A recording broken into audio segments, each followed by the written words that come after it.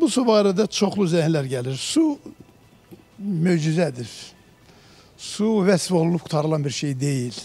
Rəngi yox, dadı yox, e, dayanmır, axır e, və s.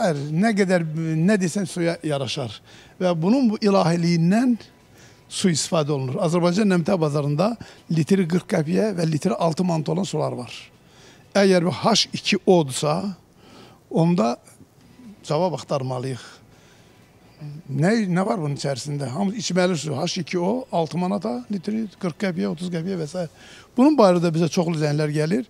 Əhali bunun quyu suyu olmasından, e, harda istehsal olunmasından, əlbəttə sudan zəhərlənmə olsa da azad istehlakçılar bir zəhərlənən adam bizdə yaşıyor. Ya o dünyaya gedir ya ya Lakin böyük narazılıq var. Bunun mənbəyi barədə deyirlər telefon zəng edirik, cavab vermirlər və s.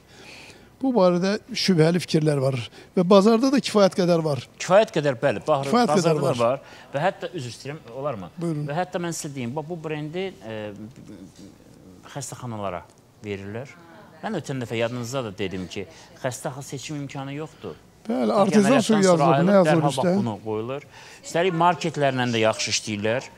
Və e, məsələ orasındadır ki, e, Azərbaycan məhsulu kəhri sözündən əlbəttə ki, istifadə ediblər və bunun da istehsalçısı əfsanəyə görə, yəni burada yazılan əfsanəyə görə e, İkar Qrup MMC-dir.